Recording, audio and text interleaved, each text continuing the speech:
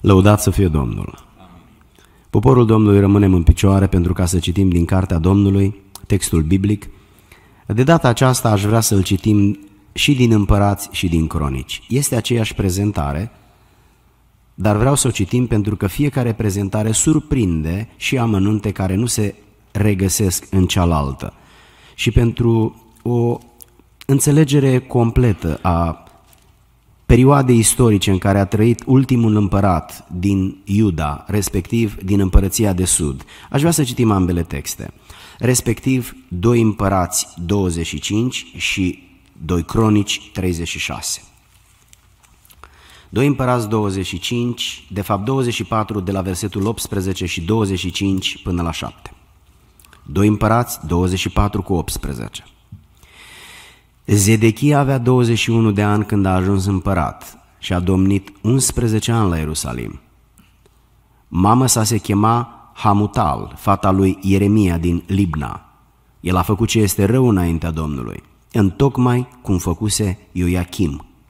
Și lucrul acesta s-a întâmplat din pricina mâniei Domnului împotriva Ierusalimului și împotriva lui Iuda, pe care voia să-l lepede dinaintea lui. Și Zedechia s-a răsculat împotriva împăratului Babilonului. În al nouălea an al domniei lui Zedechia, în a zecea zi a lunii a zecea, Nebucannețar, împăratul Babilonului, a venit cu toată oștirea lui împotriva Ierusalimului. A tăbărât înaintea lui și a ridicat întărituri de jur împrejur. Cetatea a fost împresurată până la al 11-lea an al lui Zedechia. În ziua a noua, lunii a patra, era mare foamete în cetate și nu era pâine pentru poporul țării. Atunci s-a făcut o spărtură în cetate și toți oamenii de război au fugit noaptea pe drumul porții dinspre cele două ziduri de lângă grădina împăratului, pe când haldeii, adică babilonienii, înconjurau cetatea. Fugarii au apucat pe drumul care duce în câmpie, dar oștirea haldeilor a urmărit pe împărat și l-a ajuns în câmpiile Erihonului și toată oștirea lui s-a risipit de la el. Au prins pe împărat și l-au suit la împăratul Babilonului la Ribla și s-a rostit o hotărâre împotriva lui. Fiii lui Zedechia au fost înjunghiați în fața lui. Apoi lui Zedechia i-au scos ochii, l-au legat cu lanțuri de aramă și l-au dus la Babilon. Uh, Citim textul și din 2 Cronici, capitolul 36, versetele de la 11 până la 21. 2 Cronici 36. Versetul 11. Zedechia avea 21 de ani când a ajuns împărat și a domnit 11 ani la Ierusalim. El a făcut ce e rău înaintea Domnului Dumnezeului său și nu s-a smerit înaintea prorocului Ieremia, care îi vorbea din partea Domnului. S-a răsculat chiar împotriva împăratului Nebucadnețar, care îl pusese să jure pe numele lui Dumnezeu și a înțepenit grumazul și și-a învârtoșat inima până acolo încât nu s-a întors la Domnul Dumnezeului Israel. Toate căpeteniile preoților și poporului au înmulțit și ei fără de legile, după toate urăciunile neamurilor și au pângărit casa Domnului, pe care o sfințise el în Ierusalim. Domnul Dumnezeul părinților lor a dat din vreme trimișilor să însărcinarea să înștiințeze, căci voia să cruțe pe poporul său și locașul său, dar ei și-au bătut joc de trimișii lui Dumnezeu. I-au nesocotit cuvintele și au râs de prorocii lui, până când mânia Domnului împotriva poporului său a ajuns fără leac, adică fără medicament. Atunci Domnul a făcut să se suie împotriva lor împăratul haldeilor, și au ucis cu sabia pe tinerii lor în casa locașului lor cel sfânt. N-a cruțat nici pe tânăr, nici pe tânără, nici pe bătrân, nici pe omul gârbov sub povara perilor albi, ci a dat totul în mâna lui. Nebucannețar a dus la Babilon toate uneltele din casa Domnului, mari și mici, visteriile casei Domnului și visteriile împăratului și ale căpetenilor lui. Au ars casa lui Dumnezeu, au dărâmat zidurile Ierusalimului, au pus foc tuturor caselor lui și au nimicit toate uh, lucrurile scumpe. Pe cei ce au scăpat de sabie, Nebulcannețar i-a dus prinși la Babilon. Ei i-au fost supuși lui și fiilor lui, până la stăpânirea împărăției perșilor, ca să se împlinească cuvântul Domnului rostit prin gura lui Ieremia. până ce țara și-a ținut sabatele ei și s-a odihnit tot timpul cât a fost pustită până la împlinirea celor 70 de ani. Amin. Luați loc, dragii mei.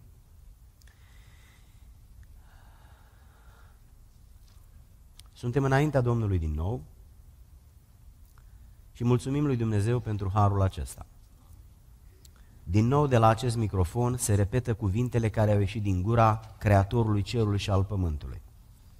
În speranța că poporul din generația aceasta nu, fi, nu va fi ca poporul din generația lui Zedechia, care au disprețuit cuvântul Domnului, care au disprețuit prorociile, care au râs de lucrătorii lui Dumnezeu și care și-au făcut de cap și peste ei a venit urgia și blestemul.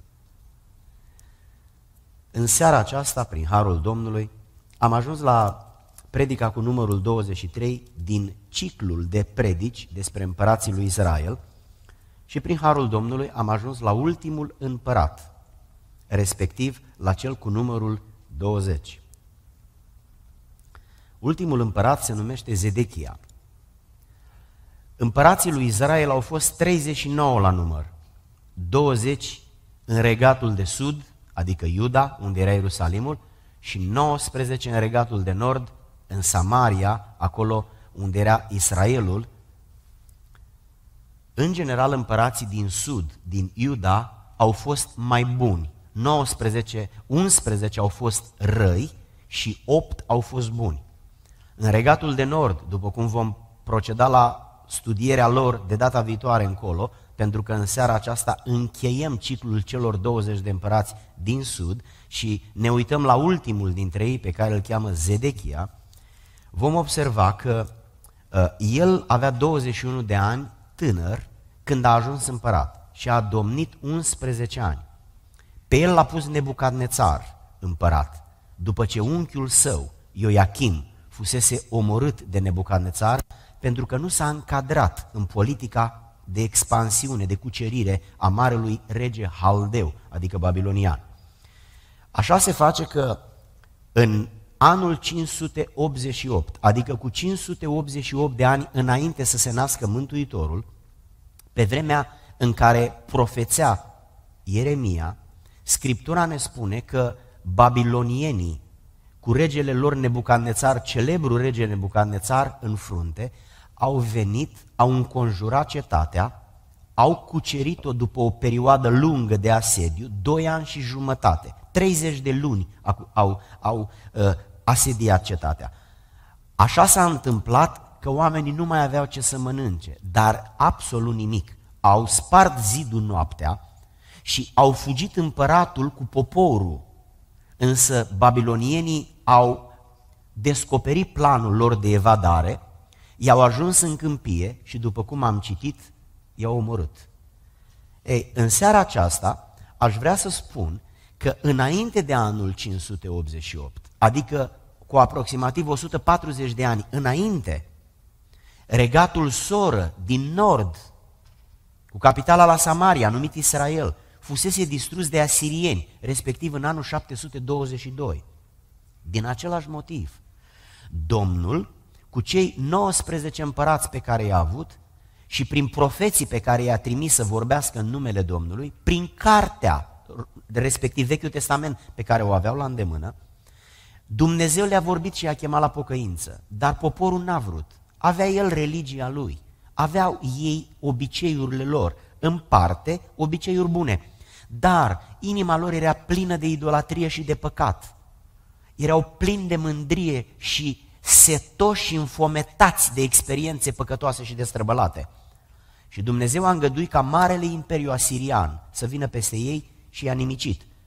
Regatul de nord a fost distrus în 722 de Salmanasar, al cincilea, marele rege asirian, care a rămas celebru în istorie prin cruzimea lui fără precedent. Și el și tatăl lui au fost doi regi mari. Uh, în 2 Împărați, capitolul 18, versetul 10, ne spune Scriptura ce s-a întâmplat în vremea aceea. El a asediat cetatea Samariei trei ani de zile. Ierusalimul a fost asediat doi ani și jumătate. După 254 de ani de istorie, ai regatului de nord, în care au trecut pe la tron 19 împărați, printre care și destrăbălatul Ahab, care a fost cel mai rău dintre cei 19. Dumnezeu a stârnit pe asirieni, spune Biblia, ca să meargă și să distrugă regatul de nord. 254 de ani i-a suferit Dumnezeu. I-a chemat la pocăință. 254 de ani. N-a fost suficient. Nici pentru ei, nici pentru copiilor, nici pentru nepoților, nici pentru strănepoților. Oameni din Israel aveau legămintele, aveau legea, aveau profeții, aveau judecătorii, aveau împărații, l-aveau pe Jehova în mijlocul lor. Ce le-a lipsit? Le-a lipsit pocăința și smerenia, mândri până peste cap de religia lor, aroganți, cum sunt și astăzi. Se băteau cu pumnul în piept. Priveau meritele lui Dumnezeu ca fiind meritele lor. L-au deposedat pe Dumnezeu de meritele lui și le-au însușit cu aroganță și cu nebunie. Și regatul de nord, partea aceasta din Israel, din partea de nord, dinspre Marea Galilei, a fost ștearsă de pe fața pământului de Imperiul Asirian. A rămas regatul din sud, jumătatea soră, cele două seminții. Și ei au mai supraviețuit 140 de ani aproximativ, până în 588. Și am citit în doi împărați, că de aceea am citit cele două texte care vorbesc despre același eveniment, pentru că surprind aspecte de amănunt diferite. Ați observat acolo că spunea Dumnezeu i-a trimis pe Haldei, pentru că nu s-a pocăit poporul. Cât timp îi trebuie poporului lui Dumnezeu ca să se pocăiască și să înțeleagă că tradițiile, formele, formele obiceiurile, aroganța lipsită de smerenie și de pocăință, nu servește la nimic decât instituțiilor religioase și oamenilor, dar pe Dumnezeu nu-L impresionează formalismul nimănui. Nu-L impresionează meritele nimănui. Numai pocăința, smerenia și o inimă cu minte aduce harul lui Dumnezeu. Și observați ce se întâmplă. După 134 de ani mai precis, regatul de sud este distrus de babilonieni. Țara este asediată, este încercuită doi ani și jumătate, 30 de luni. Citim în 2 Împărați, capitolul 25. Ierusalimul este prădat, casele sunt arse, palatele sunt distruse, poporul este luat în robie. Împăratul se uită cu ochii lui cum fiii lui sunt uciși de Nebucadnețar în fața lui. Iar după aceea, după ce a văzut cu ochii lui, s-au scos ochii să nu mai vadă nimic. Ultima imagine pe care a văzut-o a fost uciderea propriilor copii. Vă puteți imagina să-ți vezi cu ochii tăi cum cineva împlântă sabia sau lancea sau cine știe cum i-o fi omorât în copiii tăi și apoi să ți se scoată ochii, să rămâi cu ultimile imagini ale copiilor tăi care se prăbușeau plini de sânge. Aproape că mai bine mori decât să trăiești cu amintirile acestea. Așa se întâmplă omului care nu se teme de Domnul, omului care se obișnuiește cu templu, omului care se obișnuiește cu preoții, omului care se obișnuiește cu prorocii și îi disprețuiește și îi critică. El are tot un degetul mic. El este mai deștept decât toți. El le știe pe toate. El are răspuns la toate. Așa i s-a întâmplat. Împărat. Era înconjurat de preoți, de căpetenii, de regi, de, min- de general, de miniștri. Și uitați unde a ajuns cât de mare este riscul oamenilor mari din vremea noastră să guste aceeași istorie, aceeași tragedie a lui Zedechia.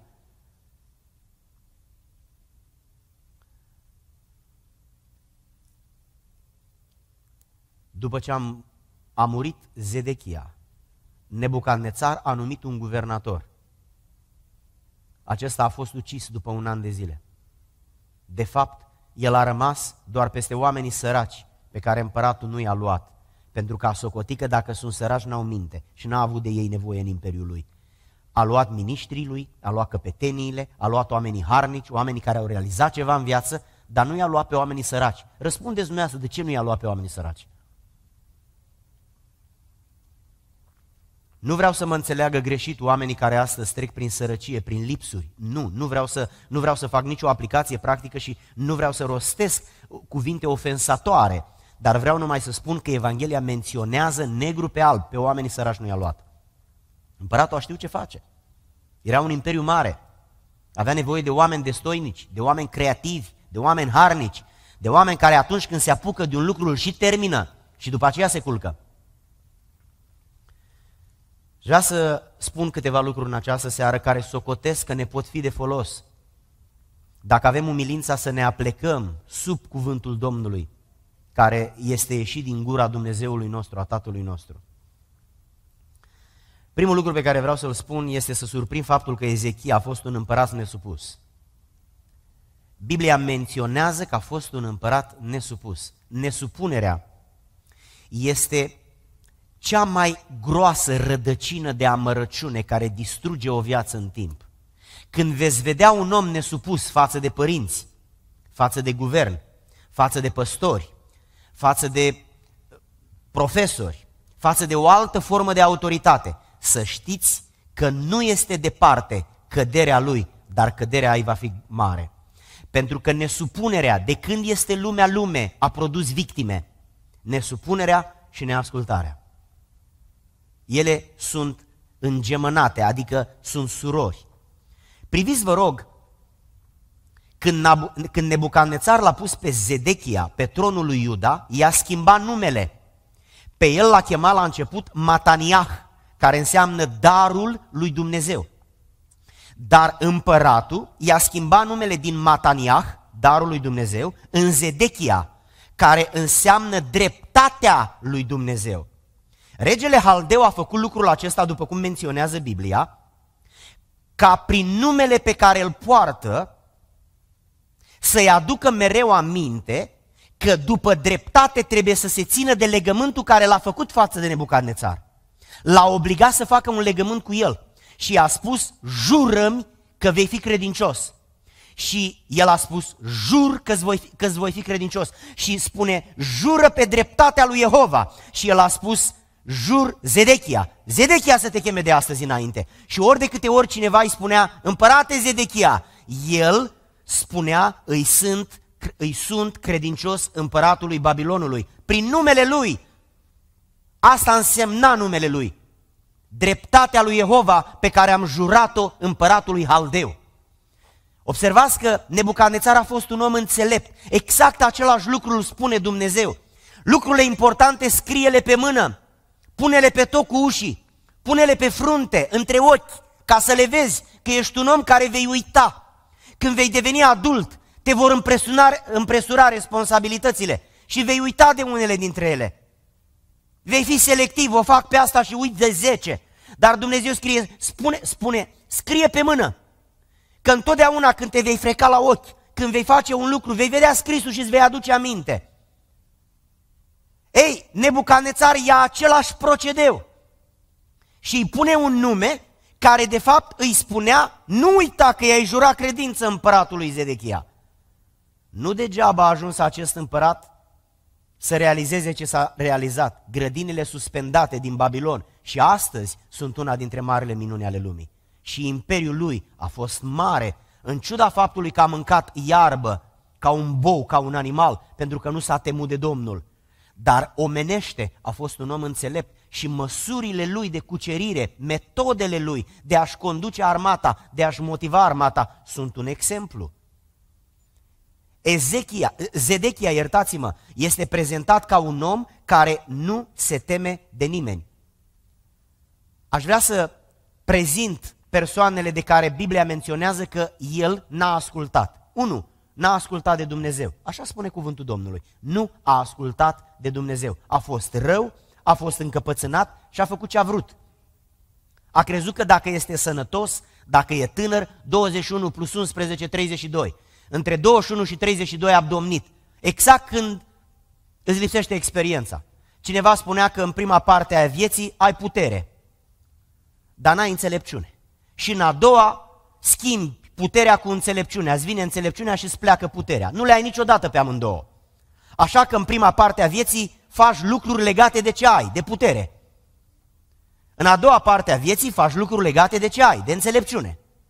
El la el s-a nimerit să fie împărat când a avut mai puțină înțelepciune. Și se vede asta. Nu vreau neapărat să spun că cei care sunt sub 35 sau 40 de ani nu sunt înțelepți. Nu vreau deloc să spun lucrul acesta. Vreau numai să spun că experiența înseamnă mult, după cum trăiesc, o simt cei care au ajuns la vârsta respectivă. El a fost neascultător de Dumnezeu, a fost neascultător de Eremia, Scriptura spune, nu a vrut să asculte de Eremia. Nu a vrut el. Cine putea să-l convingă? Și a pus în minte să nu asculte. A spus el, cine te crezi tu, Ieremia, să-mi spui mie ce să fac? Nu vorbește Domnul prin tine. Prin cine trebuia să vorbească Dumnezeu ca să asculte și el? Nu exista omul ăla. N-a existat. Pur și simplu n-a existat și dacă n-a existat, n-a ascultat de nimeni. Uneori eu spun de la acest microfon și în seara asta repet, nu există ființă mai nefericită decât omul care descalifică pe toți predicatorii care ajung la învon și niciunul nu-i vrednic ca să-i predice lui. Omul ăla e cea mai nefericită ființă de sub soare, pentru că nu va mai asculta niciodată o predică, în ciuda faptului că le, le aude pe toate, dar pe niciuna nu ascultă. Că pe ăla îl descalifică că e blond, pe ăla îl descalifică că e brunet, pe ăla îl descalifică pentru una, pe ăla pentru alta și oricine s-ar, s-ar urca la microfon nu e vrednic să predice. Fraților, în felul ăsta pur și simplu ne izolăm pentru restul vieții de Evanghelia lui Dumnezeu. Evanghelia nu e a oamenilor, nu e a predicatorilor. Dintr-un anumit punct de vedere, niciunul nu-i vrednic să o predice. Cine se ridică la înălțimea de săvârșirii? Hai să-l punem pe la să predice. Unde e? A fost unul și s-a întors în cer. Lăudat să fie Domnul. Nu vreau să scuz slăbiciuni și greșeli ale lucrătorilor. Nici vorbă despre așa ceva. Biblia vorbește despre standarde înalte. Vreau numai să spun că atunci când vrei să găsești o slăbiciune, ca să disprețuiești pe un om, o găsești în 5 minute. E mai greu să-l iubești, e mai greu să-l ierți, e mai greu să-l apreciezi, e mai greu să-i faci un compliment, e mai greu să-i spui ceva care să-l ridice, dar să-i spui ceva care să-l apese și să-l facă să îi fie rușine să mai slujească. Este simplu. A fost neascultător de Dumnezeu, de Eremia și de Nebucadnețar. Al doilea lucru pe care vreau să-l surprind, Zedechia, un împărat înconjurat de oameni nesupuși. A fost un om nesupus și s-a înconjurat de oameni nesupuși. Uitați ce spune Scriptura. Căpeteniile lui Zedechia și preoții sunt prezentați în Biblie ca fiind persoane fără frică de Dumnezeu. 2 Cronici 36 cu 14. Recitesc. Toate căpeteniile preoților și poporului au înmulțit și ei fără de legile. Ale cui fără de legi? Ale împăratului lor. După toate urăciunile neamului și-au pângărit casa Domnului pe care o sfințise Domnul în Ierusalim. Domnul le-a dat vreme, le-a dat din vreme trimiși care să le vorbească de pocăință. Dar ei i-au disprețuit, i-au ironizat și au spus plecați de aici că nu avem chef să vă ascultăm pe voi. Voi sunteți niște palavragii. Ieremia a fost palavragiu și toată generația de proroci care au venit împreună cu el, toți au fost niște palavragii pentru ei. Dar uitați ce spune Dumnezeu despre oamenii aceștia. Unu, au promovat fără de legea. Adică au înmulțit-o și au protejat-o să nu cumva să se strice, să se distrugă. Au îngrădit-o. Nu vă atingeți de ea, lăsați-o să crească. N-au vorbit împotriva ei. Zedechia este prezentat în Biblie ca un om foarte popular, care nu vrea să se pună rău cu nimeni, mângâie pe toată lumea, perie pe toată lumea, ca nu cumva să-și facă dușmani. Observați că Biblia spune că au venit niște oameni care l-au împins să nu mai asculte de Nebucadnețar și s-au luat după ei, să nu se pună rău cu nimeni. Opinia publică hotăra ce face el, nu el, el n-avea nicio agendă. Era un împărat fără agendă de împărat. Dar venea când unul, când altul și îi spunea, fă asta. Și el făcea. De ce? Să nu se supere omul care i-a spus. Întreb eu, unde duce un astfel de împărat o țară? Unde duce un astfel de șofer o mașină dacă nu știe ce să facă, dacă nu are o perspectivă? Deschide unul geamul la semafor și spune, nu-i bine cu ei la dreapta, iau în stânga. Și schimb semnalul, adică semnalizarea de la dreapta la stânga și le fac semn la toți, vă rog, lăsați-mă să trec, că mi-a zis ăsta că încolo trebuie să o iau. Și la următorul semafor altul rasă geamul jos și spune, nu ești bine, întoarce-te. Ei, imaginați-vă un astfel de șofer. Așteaptă-l să te vină să te ia de acasă într-o jumătate de oră. Scriptura ne spune că au practicat idolatria, au pângărit casa Domnului, au disprețuit avertizmentele profetice pe care Domnul le-a dat slujitorilor, au, a, au atras mânia divină ieșind de sub binecuvântare prin neascultarea lor. Vă puteți imagina că Zedechia e un om nesupus și s-a cârdășit, s-a înconjurat de oameni nesupuși. Întotdeauna un om se înconjoară de oameni ca el, că altfel se simte incomodat de ei caracterul unui om, mai ales al unui lider, îl poți vedea fără să-l cunoști pe el, dacă îi cunoști oamenii care, de care este înconjurat. Pentru că întotdeauna el se va înconjura de oameni cu care se potrivește. Că altfel tot timpul se va lupta cu ei, ei cu el și el cu ei. Zedechia neascultător s-a înconjurat cu oameni neascultători. Zedechia fără calitate spirituală s-a înconjurat cu oameni fără calitate spirituală. Și țara a fost condusă de această echipă. Ministrii lui, generalii lui, toți neascultători, cu el în frunte, mai neascultători decât toți. Ce perspectivă putea să aibă țara? A mai dat Dumnezeu un an, a mai dat Dumnezeu încă 10 și după 11 ani Dumnezeu a apăsat pe buton. Nebucadnețar și-a luat armata, a venit peste ei, două luni și jumătate i-a încercuit, până când n-au mai avut mâncare. Și de foame, leșinați de foame, într-o noapte au spart zidul și au vrut să fugă în câmpia Irionului. Nebucadnețar a aflat, i-a prins și i-a nimicit pe toți. Unde-i Dumnezeul lui Israel? Pe tron. Dar unde e Israel? Israel e în păcat, Israel e în idolatrie, Israel e în aroganță, Israel este în formalism. N-au învățat nimic de la regatul de nord, soră, care cu 140 de ani aproximativ, mai precis 134, a fost distrus pentru același motiv, păcat, idolatrie, neascultare și nesupunere. N-au învățat nimic extraordinar. Cât de, cât de încăpățânat poate să fie un om. Dumneavoastră știți cum se dresează un câine? Prin repetiție. Orice animal care e dresat în lumea asta se dresează prin repetiție și motivație.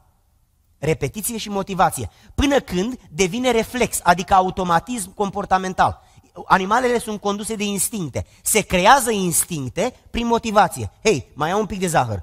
Ori de câte ori face lucru care te aștept să-l facă, îl premiezi. Și lui se întipărește instinctul că dacă face ceva anume, primește zahăr. Și atunci spune, fac asta. Și face lucrul acela. Așa se dresează un animal. Ei, un animal se dresează, un om nu se poate dresa. Pentru că omul nu are instincte, are rațiune. Și el spune, nu vreau să-L ascult pe Domnul. Și nu-L ascult. Vine prorocul, nu-L ascultă, vine tata, nu-L ascultă, vine bătrânul, nu-L ascultă, vine un, un, un vecin, cum se cade, nu-L ascultă, predicatorul și pastorul îi spune la biserică, n-ascultă pe nimeni, că nimeni nu știe, numai el știe. Și uitați unde duce nebunia, nesupunerea și neascultarea. Uitați-vă la, la, la țara aceasta, care a fost o țară creștină, a cărei Constituție a fost inspirată de Biblie, care a dat misionari, ai cărei președinți, spre exemplu Lincoln, au excelat prin rugăciune și prin citirea Bibliei și prin citate de o bârșie divină, unde a ajuns țara aceasta, de cine e condusă, ce principii are, pentru ce se adună judecătorii ziua și noaptea, să legifereze păcatul pentru care pământul ăsta a fost distrus, unde e astăzi Marea Moartă. N-au învățat nimic din istorie, au facultăți, au titluri, au doctorate, dar la ce le folosește? Dumnezeu este renegat, este împins afară, valorile lui sunt ascunse. Când a avut ocazia să meargă într-o biserică la Paște, n-a pronunțat numele lui Isus Hristos, nici vorbă de așa ceva. Iar pe Google era un om care a făcut doar prostii. Nu ne mai trebuie nici măcar un iepuraș, nici măcar un ou, nici atâta nu mai merită, nici acest simbol de mâna cincea.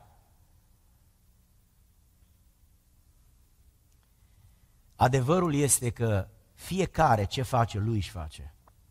Nu suntem veșnici în natura umană.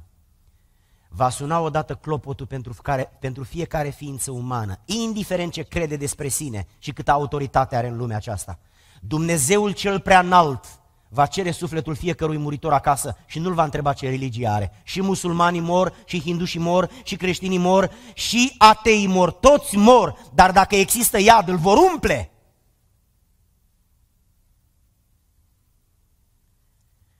Zedechia, un împărat fără împărăție, din cauza răzvrătirii, Nebucadnețar îi ia împărăția, îi ucide copiii în fața lui.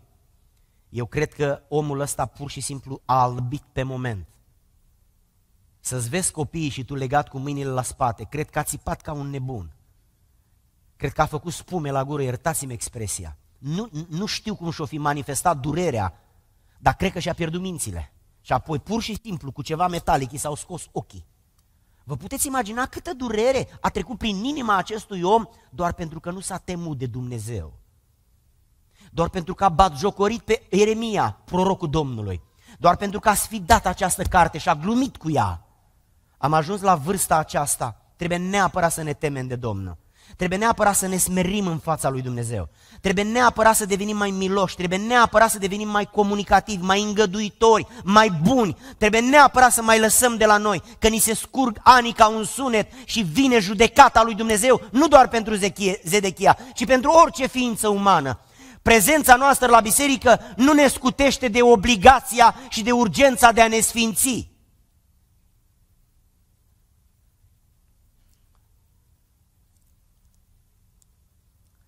În 15 ianuarie 588 a început cu seriozitate asediu. A durat până în 19 iulie 586. Citim în 2 Împărați 25 sau în Ieremia 39. Și Ieremia în cartea sa vorbește despre ce s-a întâmplat în timpul slujirii sale. Și de multe ori anumite evenimente sunt prezentate în doi împărați, în doi cronici și în Ieremia, pentru că el a fost un, un, un profet proeminent și el a scris o carte. De fapt, sunt două cărți scrise despre el. Zedechia și sfârșitul său tragic. Ierusalimul este distrus. Ce vină au avut zidurile alea că au trebuit să plătească pentru păcatul celor care le-au ridicat? De ce a trebuit templul acela frumos și scump? Să fie dărâmat, ars. De ce zidurile acelea înalte, mărețe, care au protejat poporul lui Dumnezeu atâția ani, au trebuit să fie distruse? De ce vasele de cinste din casa lui Dumnezeu au trebuit să fie folosite nu de preoți și din niște destrăbălați din Babilon? Doar pentru că preoții și împăratul au ajuns niște păcătoși din calea afară. Și mânia lui Dumnezeu a venit peste țară. Mânia lui Dumnezeu a venit peste țară. Frați și surori, avem copii, unii dintre noi avem nepoți, fiecare dintre noi avem o oarecare măsură de influență în familie, în biserică, în comunitatea română. Ce fel de influență este influența noastră?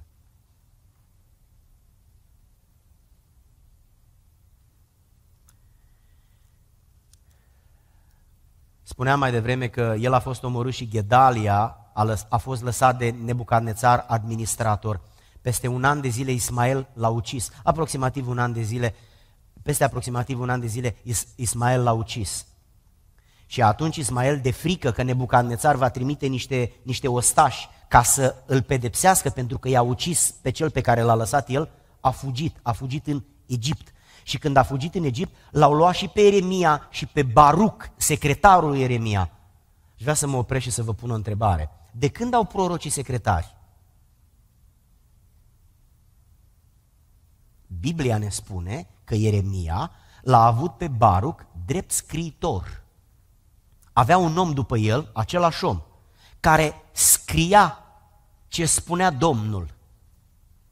Și la un moment dat îl trimite pe Baruc, adică ucenicului, asistentului, ajutorului, îl trimite cu o, cu o scriere, după moda vremii, evident, nu vă imaginați o carte ca acum, ci după după obiceiul vremii, după posibilitățile vremii. Îl trimite cu o scriere la împărat, scriere care conținea un mesaj de la Domnul. Și împăratul aruncă, aruncă cartea în foc, aruncă scrierea în foc. Și știți ce zice Ieremia? Află când postește împăratul, că în formalismul lui m și postea. Află când postește și îi spune lui Baruc așa, mai scrie încă o dată și du-te în ziua postului, că de obicei în ziua postului oamenii au inima mai bună. Vă puteți imagina? Eremia a avut un om care l-a ajutat. N-a fost Eremia un om smerit? Ba da. Dar de ce i-a trebuit un scriitor? De ce i-a trebuit un secretar care să-i țină arhiva, care să-l ajute în slujire? Pentru că numai în felul acesta există o istorie. Altfel, nu aveam niciun fel de istorie. Nu mai știam când a trăit cu tare, când a trăit cu tare, ce s-a întâmplat în cutare. De-aia există o arhivă. Dumnezeu ne-a pus la dispoziție această istorie să știm și noi de unde venim, care ne sunt strămoșii, care le-au fost greșelile, care le-au fost calitățile, să învățăm de la ei, să ne temem de Domnul, să învățăm din experiența părinților noștri. Și dacă vedem vreo mică slăbiciune, pe aia să nu o luăm, dar orice calitate pe care au avut-o străbunii noștri și părinții noștri să o luăm. De aceea există cronici. Pentru că au existat niște secretari care au avut slujba să scrie. Ieremia n-a fost comod, n-a fost puturos, n-a fost unul care i-a trebuit slujitori. Dar așa se face lucrarea, că nu există un om să le facă pe toate. Unul vorbește, unul scrie ce se vorbește. Domnul întotdeauna a trimis doi câte doi. De ce? Cuvântul de concluzie pe care îl spun este faptul că după 400 de ani de istorie, de la Saul la Zedechia, 400 de ani de istorie, 39 de împărați, toți profeții mari aici au lucrat în perioada aceasta. Și două jumătăți din țară, care au devenit independente una de alta, au căzut sub sabia păgânilor, a oamenilor fără Dumnezeu jumătatea cu numă, prima jumătate din nord sub sabia asiriană, jumătatea din sud sub sabia babiloniană. Poporul lui Dumnezeu a fost omorât de păgâni. De ce? Pentru că Dumnezeu le-a permis, ba chiar i-a trimis. De ce? Pentru că plata păcatului este moartea. N-a avut Dumnezeu milă de împărații de atunci? Ba da. N-a avut milă de poporul ăla mare la număr? Ba da. N-a avut Dumnezeu milă de femei însărcinate, de copii și de bătrâni? Ba da. N-a avut Dumnezeu milă de profeți și de preoți? Ba da. Dar atunci, când un om face păcat, indiferent cine este, cum îl cheamă și care e trecutul lui, Dumnezeu îl omoară. Că este o moarte fizică acum sau că e o moarte veșnică în viitor, tot aia este. Vă chem în această seară tați și mame, bunici și bunice, oameni care sunteți adulți, care înțelegeți inima înclinațiile păcătoase ale acestei inimi care ne bate în piept, adică a firii pământești. Să stăm în picioare și să fim responsabili de generația noastră, de copiii care ne vin în urmă, de nepoți și de cei care cresc lângă noi și se uită la noi ca la niște modele. Și în seara asta, încă o dată, să stăm înaintea Domnului și să ne cercetăm. Pentru că așa a spus Domnul ucenicilor când au adormit, vegheați ca să nu cădeți în ispită. Același lucru avea să-l spun pentru viața, casa mea și pentru poporul lui Dumnezeu care în seara asta se închină fizic aici sau prin internet acolo unde se află. Să veghem, să ne cercetăm și să lăsăm inima noastră să fie smerită în fața Domnului. Pentru că la vremea când se va întoarce, să nu spună dute, ci vino, Dumnezeu să ne binecuvinteze. Ne ridicăm la rugăciune.